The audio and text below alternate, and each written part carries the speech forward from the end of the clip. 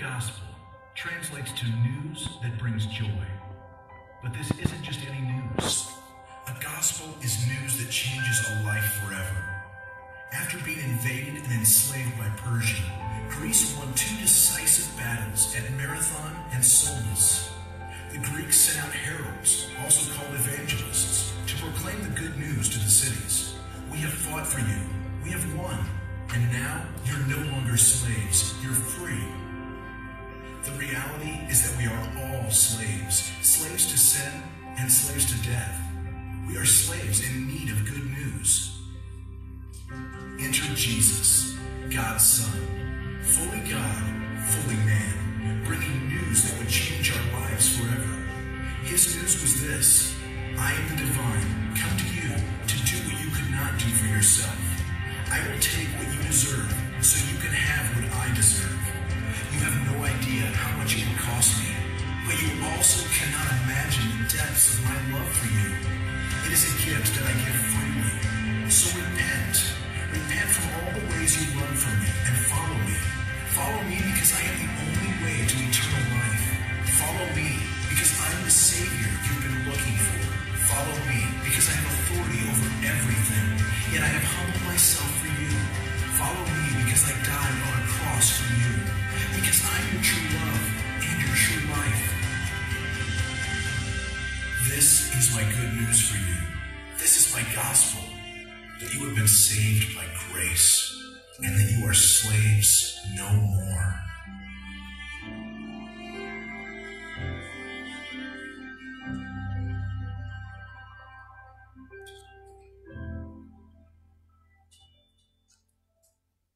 Amen. And that is why we are here uh, today to proclaim the good news of Jesus Christ to this whole entire world. So we just want to welcome all of you today that are tuning in, that are viewing this live uh, cast as we are in this crazy time of, of coronavirus and quarantining and and uh, all these regulations, but, but we're going to continue to procl- proclaim the gospel of Jesus Christ. So, uh, with this setting today, we're, we, we've got a small ministry team here just for you. Uh, we, all of you today, Harbor of Hope Church family, we love you, we miss you, we miss you being here at this church building. But let me just say this to everybody that's viewing today you can never cancel church.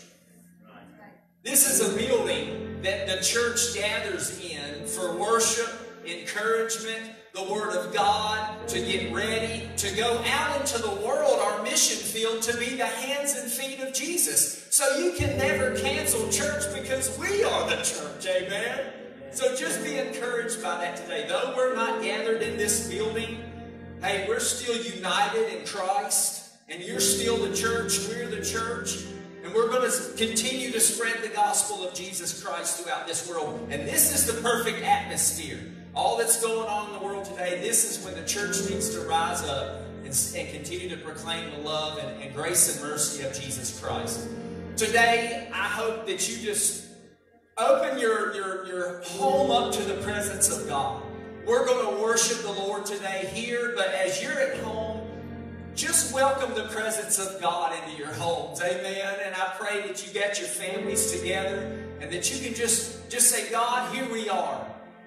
May this be a habitation of your presence. We are just going to create this atmosphere where you're welcomed and, and we worship you and praise you today. So I hope and pray that's what you're doing right now.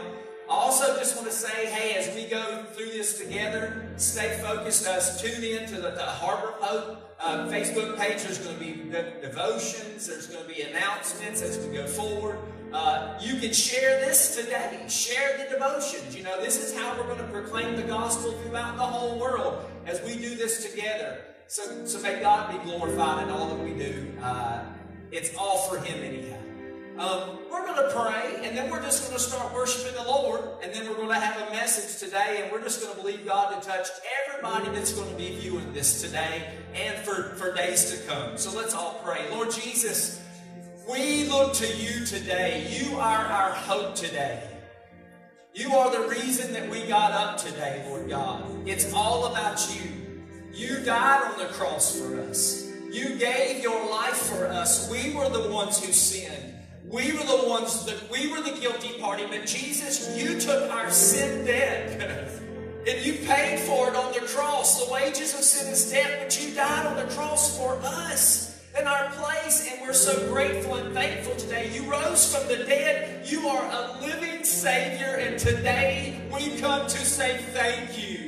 We come to worship you. And Lord, as everyone is tuning in all across the world to different various live sermons and live messages, live services where, where Facebook is being used to spread the gospel, Lord, anoint this, this, this situation that we have. Anoint it with your grace and mercy. I pray that you would take these words, this praise, saturate this world, Lord God. We believe for an awakening to come. We believe for revival to come as people start looking to you. So, Lord, do it. Lord, if there's anybody viewing this today that does not know you as their Savior, may they just call out to you, Jesus, save my soul. So, Lord God, be glorified. Edify the body now. Edify the church as we come together now to worship you. Be glorified. We love you, we praise you, and we magnify you. In Jesus' name we pray.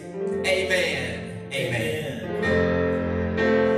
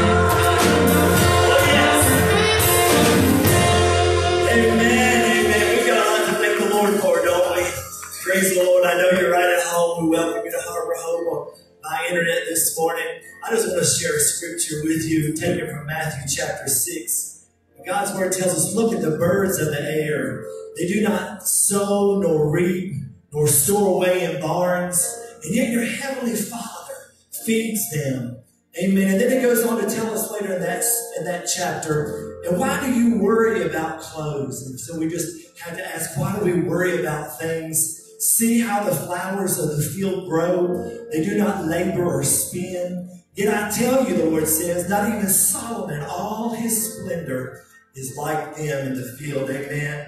Amen. And going back to that verse of scripture, amen. The Bible tells us, are we not much more valuable to our Father than all of these things? Amen. So he cares for you today. Amen. There's still hope. Amen. There's still hope. Jeremiah 29 11 says, For I know the plans I have for you, declares the Lord plans to prosper you and not to harm you, but plans to give you a hope and a future. So, in the middle of what we would call dark times, there's hope. Amen. There's hope. Amen. Praise the Lord. The Bible says his uh, seed has never begged for bread. Amen. We've never gone without because he said, I'll supply all of your needs according to your riches and glory. Amen. We have hope in Jesus. We have hope in Jesus. There in hope. Can you just take just a moment and say, Thank you, Lord. Thank you for hope. Amen. Thank you, Lord. All of my hope is in you,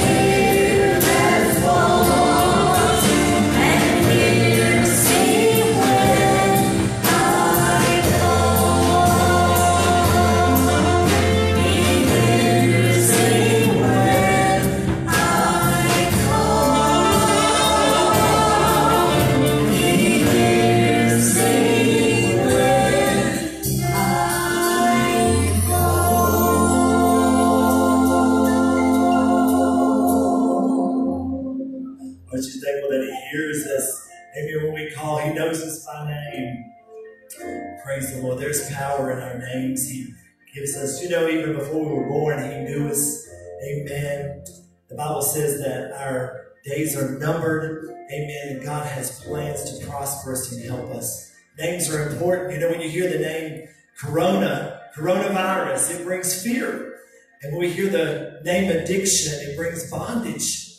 But you know, when we hear the name of Jesus, there's life in that name. There's health in the name of Jesus. There's joy in the name of Jesus. There's strength. There's hope. Amen. is so much more. I'm so glad that, that He cares for us and He knows us by name and He hears us when we call. Can we just go to Him right at home? If you just bow your head and let's just ask God to have His way in your life, in your situation. Father, we love you today. We thank you for this service. Lord, we miss our Harbor of Hope family and bless them at home. And, and Lord, bless this small team that's here this morning. And Lord, just bless. And Lord, we just pray that whatever the needs are, if there's fear, if there's bondage, if there's an addiction, or if there's uh, anything, a need, we just pray, Lord, that you'll meet the needs because you said you supply our needs according to your riches and glory. Lord, we just pray that your kingdom come will be done on earth as it is in heaven. Lord, that the forces of darkness will be driven out by your power and your love. We pray that the new creation, God's kingdom, Lord, will be done on earth and will rush in. And that we'll experience victory in our lives. We'll experience peace in our lives. Lord, we thank you that we can come to you in prayer because your word says you hear us even before we ask you know what we have need of. And so, Lord, right now, even at home and here at the church, Lord, we just lift up our needs to you. We are so thankful that your word says there's nothing, nothing impossible with you. We give you thanks in Jesus' name. In Jesus' name. Amen. Amen. Oh, there's power in the name of Jesus. There's no other name like the name of Jesus. Amen. Amen. So just say that name with me. Jesus. Amen. There's peace in the name of Jesus. Lord, we love you today. Thank you, Jesus.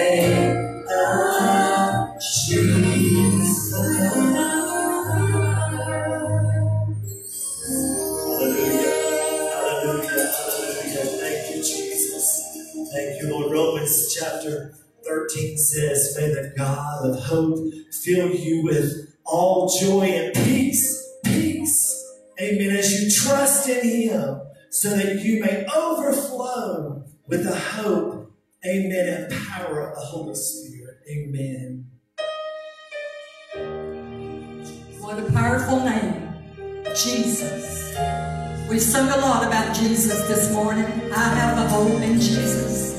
Say the name of Jesus is coming up. But before I sing this song, I want you just to shut your eyes and whisper Jesus. Three times. Jesus. Jesus.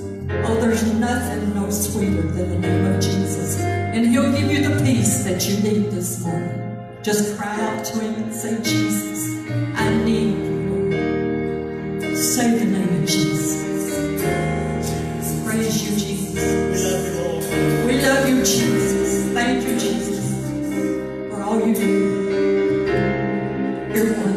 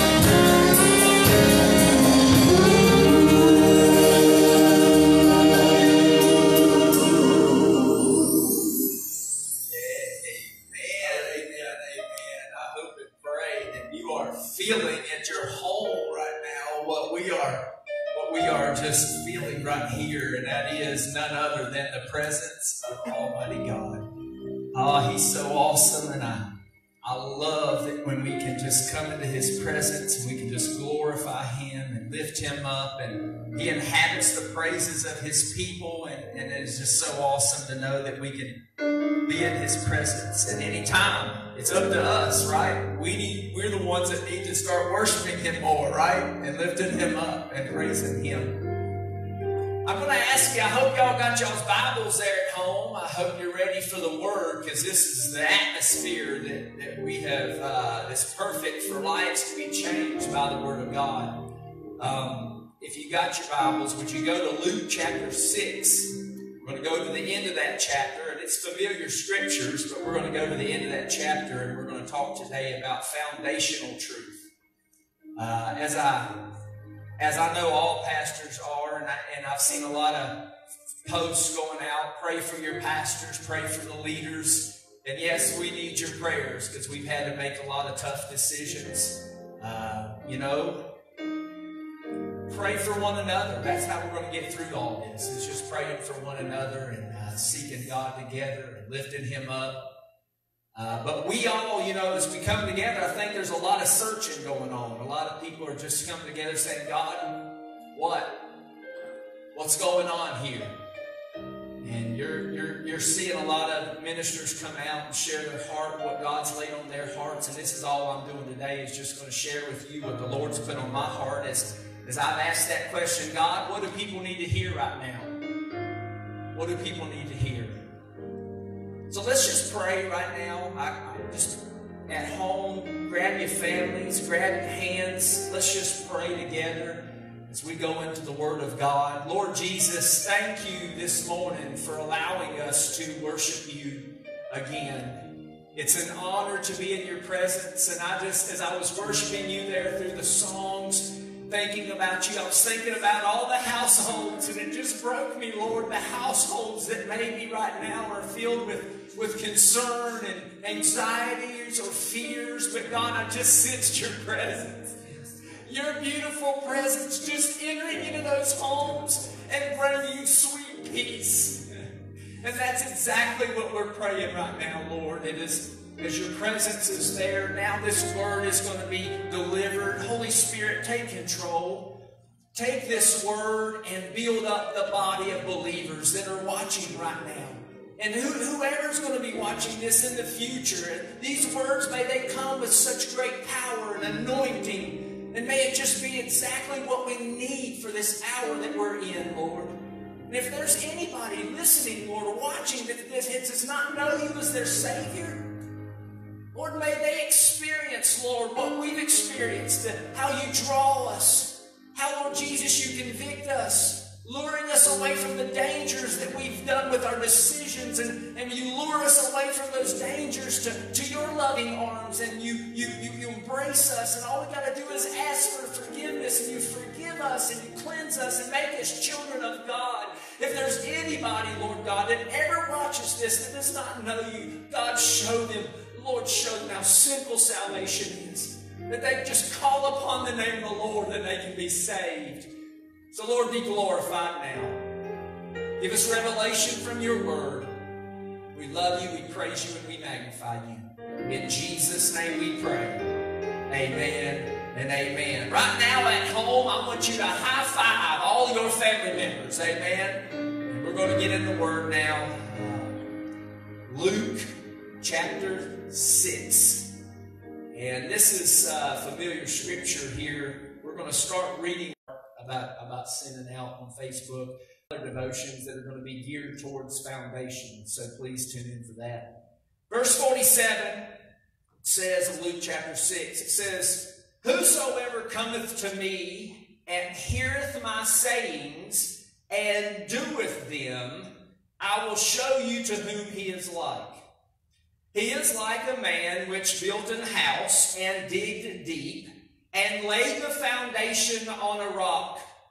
And when the flood arose, and the stream beat vehemently upon that house, and could not shake it, for it was founded upon a rock.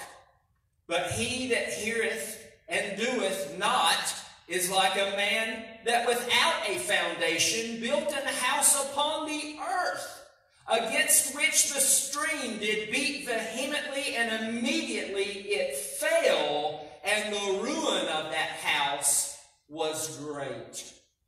I love how Jesus brings things into our world, our terms. He simplifies things and he gives us illustrations just like this. He's talking about two builders, a wise builder and a foolish builder.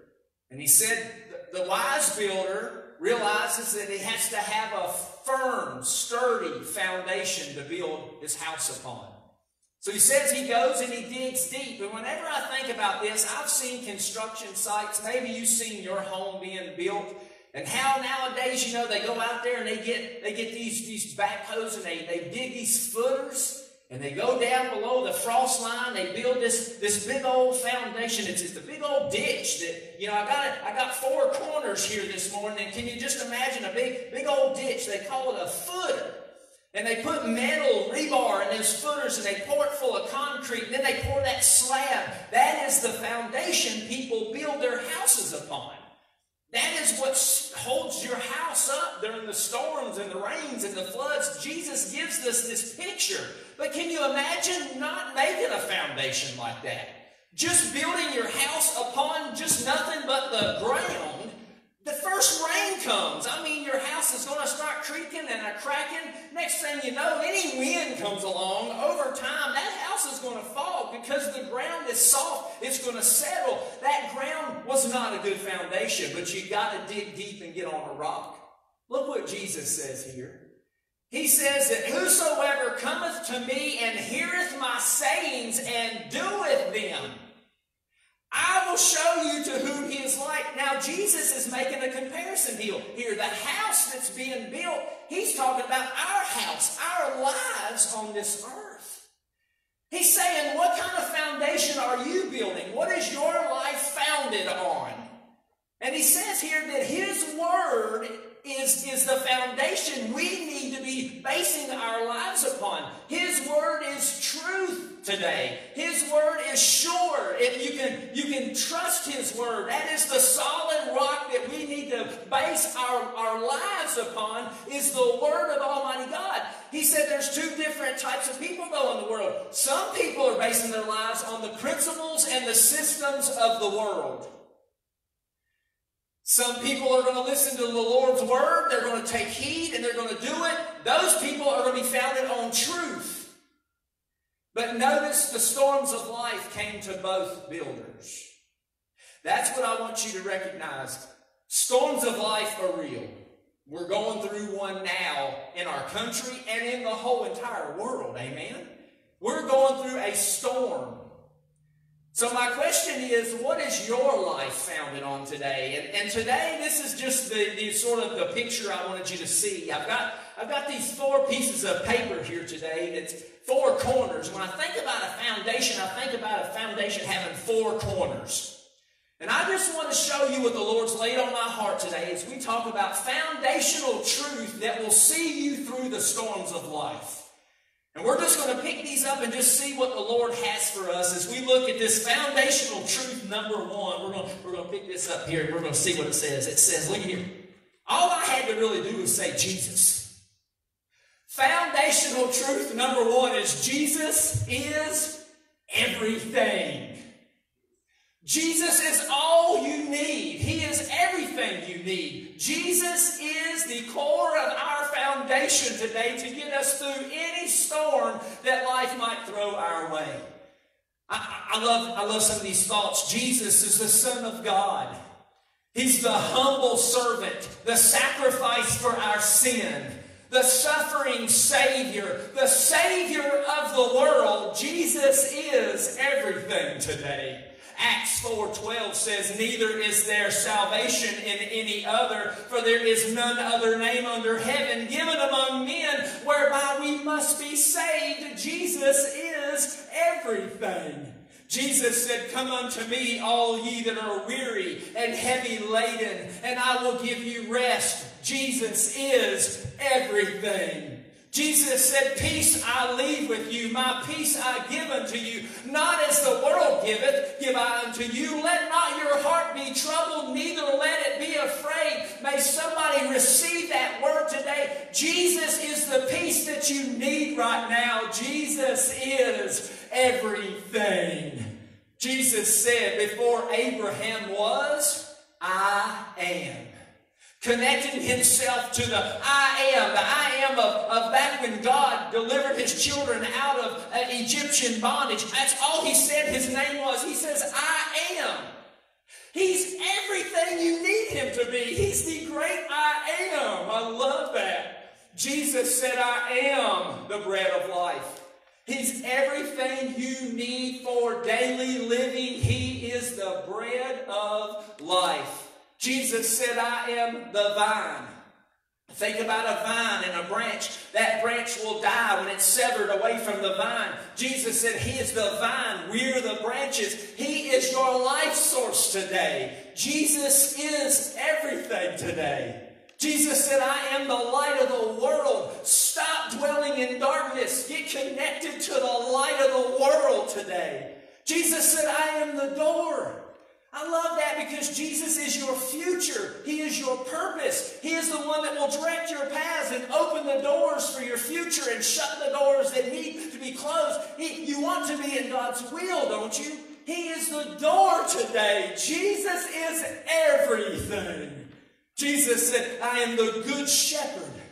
Yea, though I walk through the valley of the shadow of death, I will fear no evil, for thou art with me, thy rod and thy staff, they comfort me. Jesus is the good shepherd today, and he will comfort you, he will lead you, he will guide you, he will take care of you. Amen. Jesus is everything. Jesus said, I am the resurrection and the life. He that believeth in me, though he were dead, yet shall he live. Oh, glory, hallelujah. Jesus overcome death today. Jesus is everything. You put your trust in Jesus, and guess what? Death comes knocking at your door, and you take your last breath on this earth. Though everybody on this earth will say you died because you know Jesus, guess what? You will come on up out of that grave because you have eternal life dwelling in you because you know the resurrection and the life. Jesus is everything. Jesus said that I am the way, the truth, and the life. No man cometh to the Father but by me. Jesus is everything. Your way, your truth, your life. He's everything you need today. He is the cornerstone. He is the sure foundation that will see you through all of life's storms. Jesus is everything. Now, now, now, now, now, now, let's go to this corner, number two, and let's see what the Lord has for us. All right? So let's go over here. Number two, number two. This is this is foundational truth today. Foundational truth that we're basing our lives upon, a sure, solid foundation that sees us through the storms of life. What is this one? Love God, love people. The Bible says in Matthew 22, 36 through 39, Teacher, which is the most important commandment in the law of Moses? Jesus replied, You must love the Lord your God with all your heart, all your soul, and all your mind. This is the first and greatest commandment. And second is equally important love your neighbor as yourself. Wow. Here at Harbor of Hope, we have a mission statement, a motto, you might say, and it, it is we are here for a purpose of seeking God's presence, loving God's people, and fulfilling God's plans. And you know what? When I think about this and I think about, you know, a foundation, why, why would this be so critical for a foundation of getting us through the storms of life? Because a lot of times when you're in a, in a storm, all you can see is your circumstances. In other words, you lose focus. All you can see sometimes is what God is not doing. Instead of focusing on what He's already done and what He is able to do right there in the midst of your circumstance and what you can believe for Him to do in your future. And the storms, those storms come and that wind and whatever it is that's called, if it's a coronavirus, if it's self-quarantine, whatever it is, we all sometimes you can see is the storm and the wind and the rain and the fear and the anxiety, and that's all you can see. But you see, if we if we have this truth right here, it keeps us focused.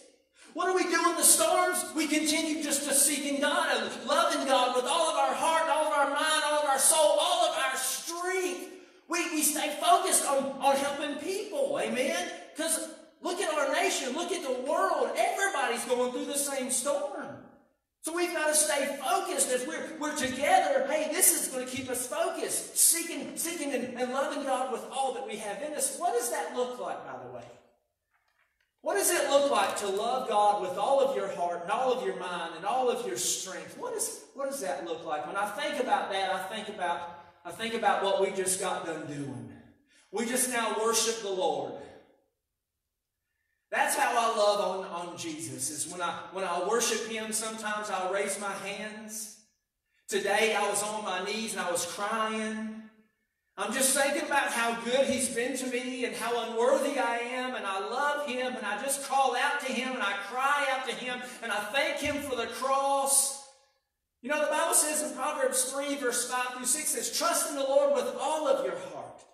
And lean not into your own understandings. Things are going to happen in your life that you're not going to understand, but it says, Acknowledge him in all thy ways, and he shall direct thy paths.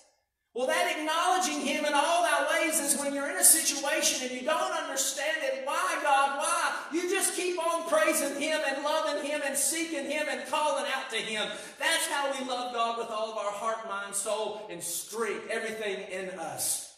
And that's what we need to do. We need to praise Him in the storm, amen. Hey, right there at home, I want you to just go ahead and start clapping unto the Lord. Say, Hallelujah. Just praise Him in the middle of the storm in the middle of this pandemic that we're going through. Just keep praising Him. Acknowledge Him in all your ways. What's it look like to love God with all of your heart? It looks like to me when people seek the Lord in prayer. And I encourage you today, don't just spend time in prayer asking God for things. Go beyond His hands and seek His face.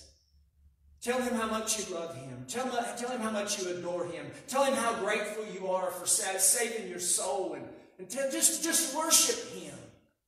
And then Jesus said, If you love me, keep my commandments.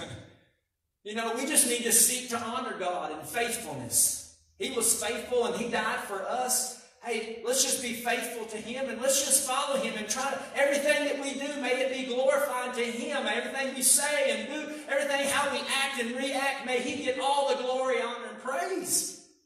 But now we go sometimes, now, now we're going to go to this loving people thing. Just look at your family right now and say, uh-oh, it's going to get real.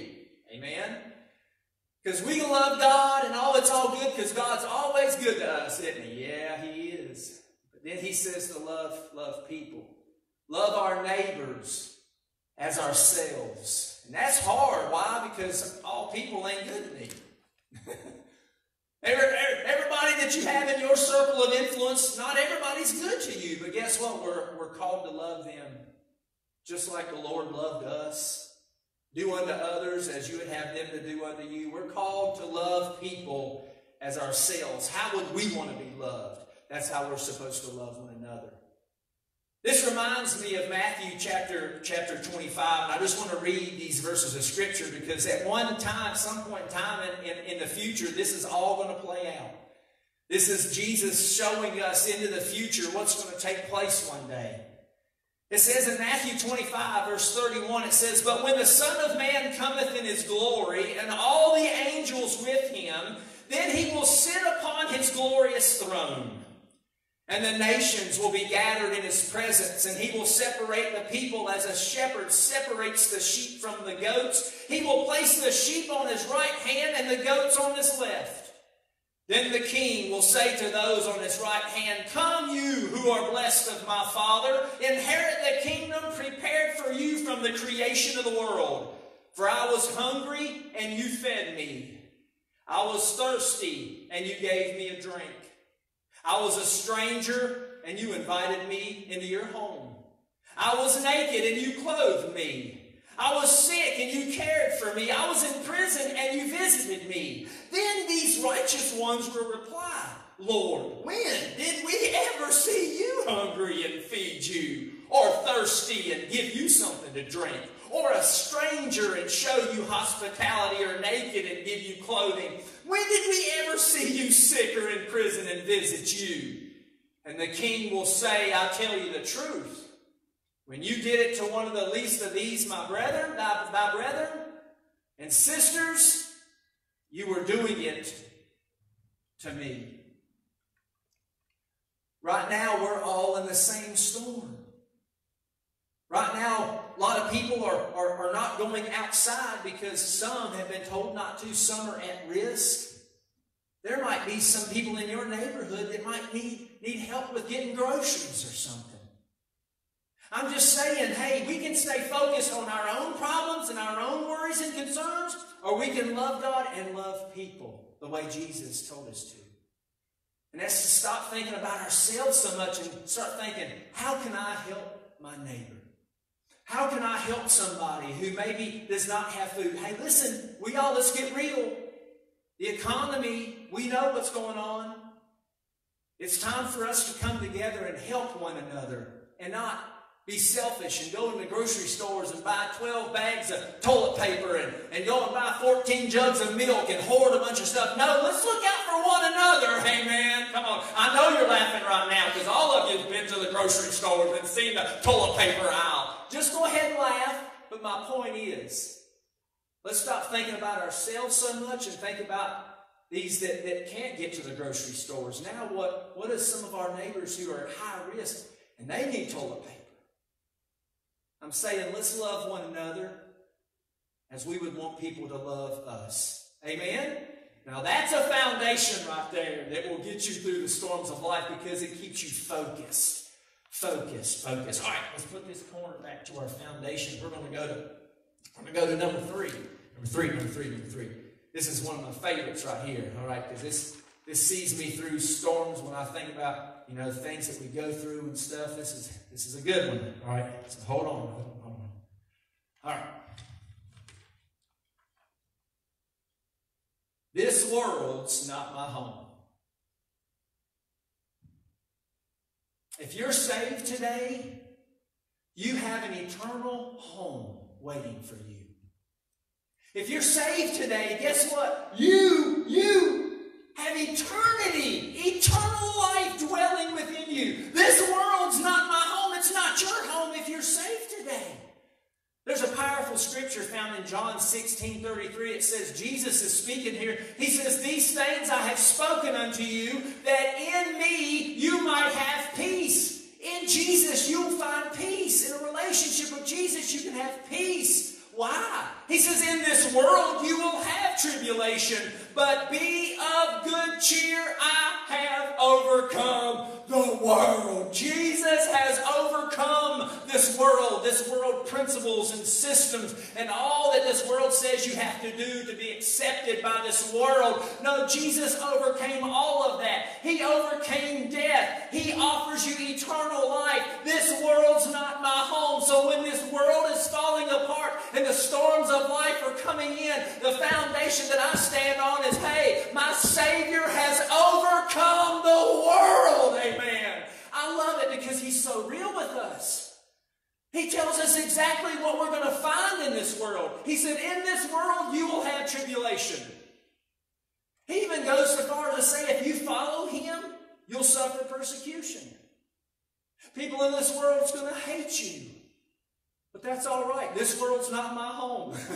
I have eternal life dwelling on the inside of me, and whatever storm may brew in this old world, I'm only here for a little while. Oh, I'm passing through because I'm on my way to heaven. i have got an eternal dwelling place. And all the sufferings of this present time, I reckon the sufferings of this old world are not worthy to be compared with my eternal home and the glory that shall be revealed in us. Amen, amen.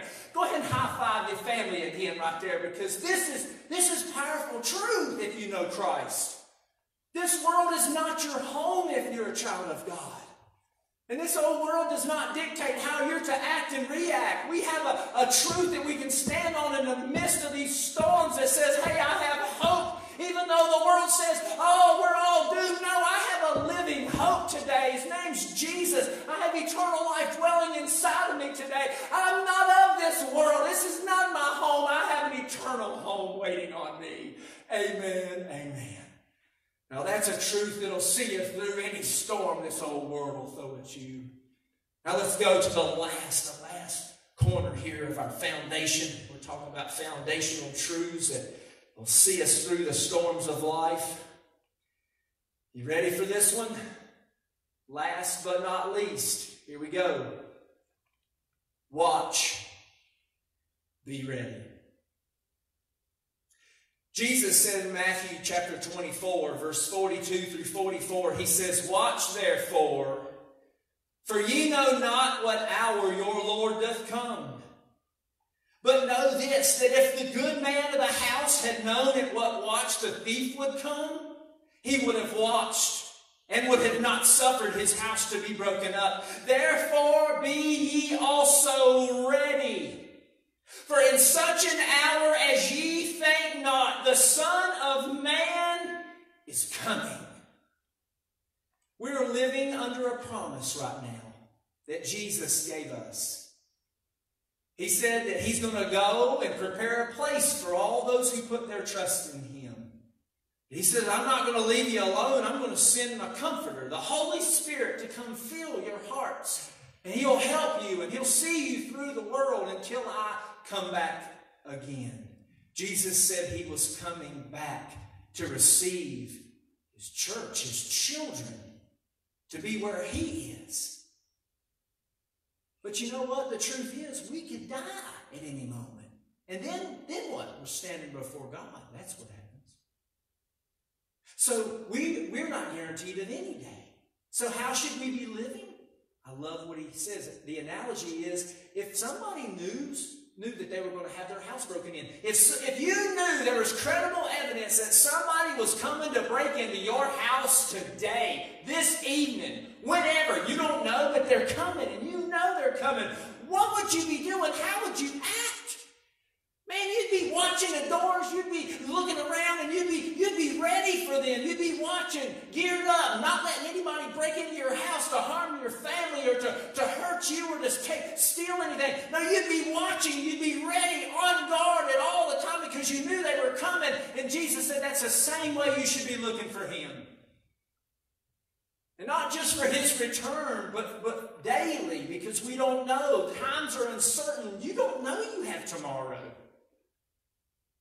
And what's so crazy about this is, is the fact that, that the storms of life, I like to think about them as being just another warning sign that, hey, I better be ready. And people better be waking up and turning their hearts to the Lord because all this stuff was prophesied. All the things that's going on in our world today, Matthew chapter 24, Mark chapter 13, Luke chapter 21.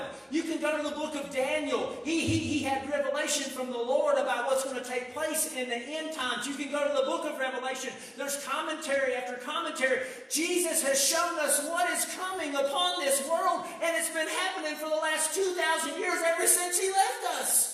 So whenever these storms, like the one we're going through now that's affecting the whole world happen, you know what he said? When you see these things, then lift up your heads, your redemption draws nigh. These things are just an alarm going off saying, you better be ready, you better be ready. Turn your lives over to the Lord. And the sad thing is, there's so many people that are just going to keep on going and living life selfishly, according to the principles and systems of this world. And these storms are going to rage and they won't have hope. And one of these days, you're going to take your last breath and you're going to stand before God. And all He's going to have to say is, I told you before. You knew what was coming because I told you everything. My question to you right now is Are you ready? Are you ready? I'm going to have Clayton come back to the piano and, and we're going to wrap this thing up with prayer. With that question Are you ready? Are you ready for, for, for the Lord to return? Are you ready? Should you have something happen and you take your last breath on this earth?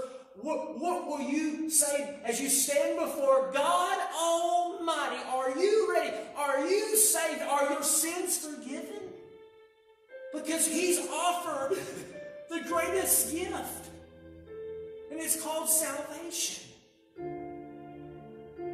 There's one requirement to get into heaven, and it's called righteousness. The Bible says none is righteous. No, not one.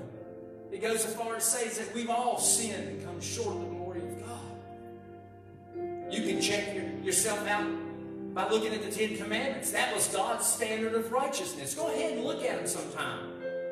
Have you always put God first? The first commandment destroys us all to love God with all your heart, mind, soul, and strength. Thou shalt have no other gods besides me, he said. Go on down to nine, thou shalt not lie. Number seven is, thou shalt not commit adultery. Jesus said, if you look upon a woman to lust after them, you've committed adultery with them already in your heart. I'm just saying, you just be honest with yourself because this is real. The storms are real. And he already told us that was going to be a sign before he returns. But I'm just saying today, today's the day of salvation because you don't know you have tomorrow. The wages of sin is death, but the gift of God is eternal life through Jesus Christ our Lord. Here's the good news. Maybe you're watching today and you admit, hey, you know, I, I look at those Ten Commandments, yeah, I'm guilty. But who can keep those commandments? Nobody can. And God knew that. You know what he did? John 3.16 says what he did. For God so loved the world that he gave his only begotten Son, that whosoever believeth in him should not perish, but have everlasting life. Jesus come to this earth, and he was perfect. He satisfied that law, the Ten Commandments. He was righteous, the only one to ever walk the face of the earth to fulfill God's standard of righteousness. Jesus did it. And yet we find him suffering and dying on a cross. Why? He was paying your sin debt. He was paying my sin debt. He was dying in our place. That's how much he loves us. And now he, he rose from the dead. And now he says, Come unto me, all ye who, who need salvation, I'll, I'll give you salvation. He said, Whosoever shall call upon his name shall be saved. Today, right now, this quick, you can say, Jesus, I believe. I believe you died on the cross for me, for my sin. I'm a sinner. I need your forgiveness, Jesus. Will you be my Savior at that moment? Guess what? You are saved. You become a child of God. Eternal life comes and fills your life. This world is not your home. You have a heavenly dwelling place. Yes, salvation is that easy. He gives you His righteousness for your filthy rags, my filthy rags. He gives us His righteousness. And now we're able to get into heaven because of what Jesus did. This is a foundation that will get you through any storm. Jesus is everything. Stay focused. Just love. Love God. Love people. This world is not my home. I'm a child of God. I have eternal life dwelling within me. Though these storms rage, it's just a warning sign that, hey, Jesus, you're coming soon. So I'm watching and I'm staying ready. Let's pray. Let's pray right now. Gather your family together. And let's just pray right now. Seek the Lord. And if you don't know Jesus as your Savior, in the midst of this prayer, call out to Him. Call out to Him. And He will save your soul. And you'll become a child of God. Lord Jesus, again, it's such an honor to be in your presence again today. And Lord God, the storms of life are raging, but Lord, you have given us great peace today from your word. You have given us great hope today from your word. You have laid out the solid foundation that we can settle our lives upon, Lord God. That no matter the storm we're all going through, we have hope in you today, Jesus. You are our hope today. Lord, I pray your blessings upon each and every person and family that is represented viewing this message today. Lord, I pray your blessings of, of peace to fill their hearts and their home right now, Lord. But more than anything, Lord, if there's anybody watching this that does not know you as their Savior, Lord, I'm believing right now they're feeling your amazing presence right now. I believe tears are falling down their faces. And Lord God, they're experiencing the love of their Heavenly Father right now. And Lord, I pray, Lord God, that, that Lord, they would just call out to you. God, forgive me, a sinner, and be my Savior. I want eternal life today. And Lord, give them that assurance. May just your presence fill their lives right now. Fill them with your sweet spirit. May that be the stamp of approval that they are a child of yours. May they sense, Lord, your presence right now as eternal life fills their hearts. so, Lord God, as we go on, the days, the weeks, Lord, you're in control. You are God. May we see, Lord God, people turn to you through this because, God, you've already told us this is the things that's going to be coming on this earth. That we need to wake up. These were the warning signs. Lord, I pray that there be a revival to, to go across this world. I pray for our president, Lord God, as he's, he's got the weight of the world on his shoulders, as he's making decisions, the governors, Lord, all these that are making decisions for the well-being of people. Lord, but you're in control. In the name of Jesus, we pray that you would dry up this coronavirus. Lord God, you would put a stop to the fear. That, Lord, you would destroy the anxiety and the worry and the stress that people are facing, that people would just turn to you. You are our provider. You are our protector. As we go forward, spreading the words of hope and truth, we love you, we praise you, we magnify you. In Jesus' name we pray.